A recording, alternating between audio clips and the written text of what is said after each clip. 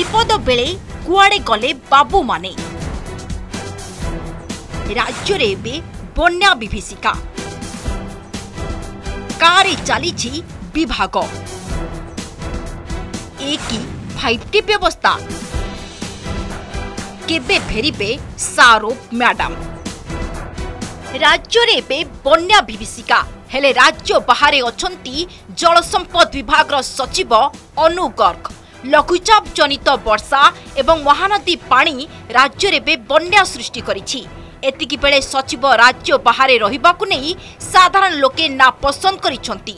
ଗୋଟିଏ ପଟେ ଛତିଶଗଡ଼ ମନମାନି କରୁଥିବା ଯୋଗୁଁ ତାର ଫଳ ଆଜି ଓଡ଼ିଶାକୁ ଭୋଗିବାକୁ ପଡୁଥିବା ବେଳେ ହୀରାକୁଦରେ ବନ୍ୟା ଜଳ ନିୟନ୍ତ୍ରଣ ଏକ ଚ୍ୟାଲେଞ୍ଜ ପାଲଟିଛି। ମହାନଦୀ ସିଷ୍ଟମରେ ଏବେ ବନ୍ୟା ଆସିବା ଯୋଗୁଁ ଅନେକ ଛୋଟ ବଡ଼ ନଦୀ ଜଳସ୍ତର ବୃଦ୍ଧି ପାଇ ଗାଁ ଗଣ୍ଡାରେ ବନ୍ୟା ଜଳ ଏସ୍ଆର୍ସି ଓ ମୁଖ୍ୟମନ୍ତ୍ରୀ ଘନ ଘନ ବୈଠକ କରୁଥିବା ବେଳେ ଉପସ୍ଥିତ ନାହାନ୍ତି ଜଳସମ୍ପଦ ସଚିବ ଏତିକିବେଳେ ବିଭାଗୀୟ ସଚିବ ଉପସ୍ଥିତ ନଥିବାକୁ ନେଇ ଅନେକ ଚର୍ଚ୍ଚା ହେଉଛି ବେଳେବେଳେ ଅନୁଗର କୁଆଡ଼େ ଭର୍ଚୁଆଲ ମୋଡ୍ରେ ସାମିଲ ହେଉଛନ୍ତି ନିଜ କାମ ସହ ଜଳସମ୍ପଦ ବିଭାଗର କାମ ଦେଖୁଛନ୍ତି ଏସ୍ଆର୍ସି ପ୍ରଦୀପ ଜେନା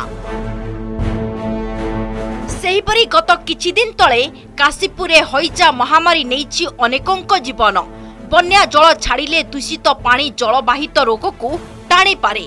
ହେଲେ ଛୁଟିରେ ଅଛନ୍ତି ଅତିରିକ୍ତ ଶାସନ ସଚିବ ତଥା ସ୍ୱାସ୍ଥ୍ୟ ବିଭାଗର ସଚିବ ରାଜକୁମାର ଶର୍ମା। ସ୍ୱାସ୍ଥ୍ୟଗତ ସମସ୍ୟା ଯୋଗୁଁ ପ୍ରାୟ ଏକ ମାସ ହେଲା ଛୁଟିରେ ଅଛନ୍ତି ସେ। ତାଙ୍କ ସ୍ଥାନରେ ଶକ୍ତି ସଚିବ ନିକୁଞ୍ଜ ବିହାରୀ ଧଳ ଅତିରିକ୍ତ ଦାୟିତ୍ୱ ତୁଲାଉଛନ୍ତି। ଜଙ୍ଗଲ ପରିବେଶ ବିଭାଗର ସଚିବ ମୋନା ଶର୍ମା ପ୍ରାୟ ଦେଢ଼ ମାସ ଧରି ଛୁଟିରେ ଅଛନ୍ତି। ବର୍ତ୍ତମାନ କାରେ ଚାଲିଛି ଏହି ବିଭାଗ। ଏହି ବିପଦ ବେଳେ ଯଦି ରାଜ୍ୟରେ ଥାନ୍ତେ ତେବେ ତାଙ୍କୁ ଅନ୍ୟ କୌଣସି କାର୍ଯ୍ୟରେ ଲଗାଯାଇ ପାରିଥାନ୍ତା। ସଞ୍ଜୀବ ଚୋପ୍ରା ରାଜ୍ୟର ଅତିରିକ୍ତ ଶାସନ ସଚିବ ଏବଂ ଗୃହ ସଚିବ ରାଜ୍ୟ ବର୍ତ୍ତମାନ ପ୍ରାକୃତିକ ବିପର୍ଯ୍ୟୟକୁ ସାମ୍ନା କରୁଥିବା ବେଳେ ଛୁଟିରେ ଅଛନ୍ତି ଗୃହ ସଚିବ। ବିଧାନସଭା ଅଧିବେଶନ ପରେ ସେ ଏବେ ଛୁଟିରେ ଅଛନ୍ତି। ଏହି ସମୟରେ ପୋଲିସ ଏବଂ ରାଜ୍ୟ ଅଗ୍ନିଶମ ବିଭାଗ ପରିଚାଳନାର ଏକ ଗୁରୁ ଦାୟିତ୍ୱ ରହିଥାଏ ଏହାଛଡ଼ା ମୁଖ୍ୟମନ୍ତ୍ରୀ ଓ ମୁଖ୍ୟ ଶାସନ ସଚିବ ଅନେକ ସମୟରେ ବନ୍ୟାଞ୍ଚଳରେ ଅଗ୍ନିଶମ ବିଭାଗର ମୁତୟନକୁ ନେଇ ରିଭ୍ୟୁ ମିଟିଂ ମଧ୍ୟ କରିଥାନ୍ତି ଆଉ ଏତିକି ବେଳେ ଉପସ୍ଥିତ ନାହାନ୍ତି ଆମ ଗୃହ ସଚିବ ରଞ୍ଜନା ଚୋପ୍ରା ରାଜ୍ୟର ଅନୁସୂଚିତ ଜାତି ଓ ଜନଜାତି ବିଭାଗର ପ୍ରମୁଖ ସଚିବ ରଞ୍ଜନା ଚୋପ୍ରା ମଧ୍ୟ ଗତ କିଛି ଦିନ ହେବ ଛୁଟିରେ ଅଛନ୍ତି।